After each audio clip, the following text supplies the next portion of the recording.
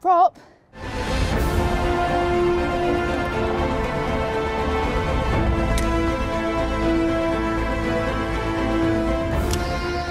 I love the 12th Doctor's new sonic screwdriver. And if, like me, you've been itching to get your hands on one since hell bent, then don't worry, the wait is over. Character Options have just released their new Sonic.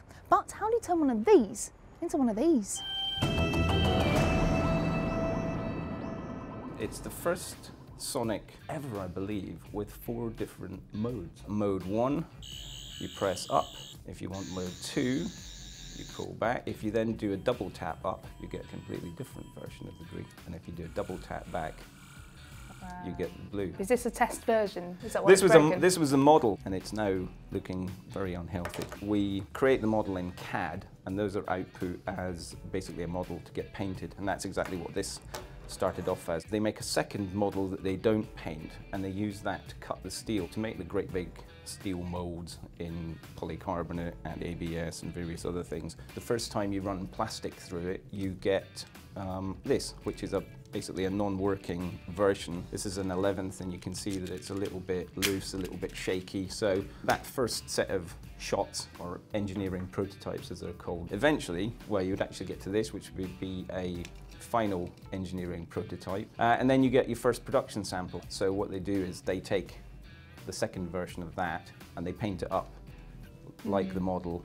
and they send it to me and say, does it look right? And then you finally get to a second version of that where things are a little bit better. And then finally, one that's in the packaging. Were there any big changes that you had to make in between these? On the prop, when we first saw it, we all had the same issue when we were using it. It has a five position switch. So you had off was in the middle and then click, click, different word, click, click. It made it quite difficult to actually use it naturally. You don't want to be mucking around sort of and looking at your hand.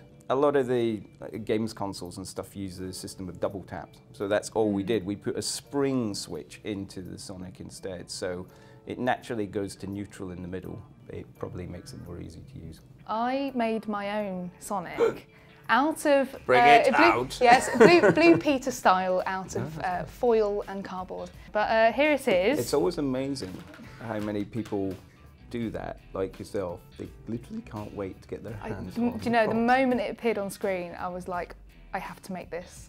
It's uh, a lot shorter and fatter, so it lights up Yeah. if you twist it once, and if you twist it twice, it flashes. Did you use glue Um, sticks?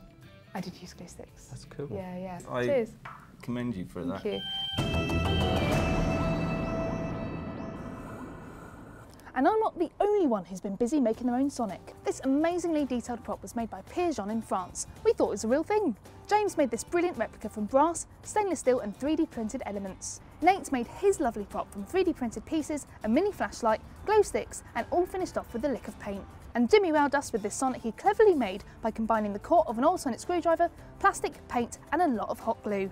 Plus, some girl called Christel, I don't know who she is, shows you how to make your own 12th Doctor Sonic screwdriver in this handy step-by-step guide. And finally, if you want a close-up look at the real thing, check out this video from Rubbertoe Replicas, the guys who build the props in the actual show. Thanks guys for your amazing work, and if you have anything you'd like to share, email dwthefanshow at bbc.com or tweet at dwthefanshow. Bye!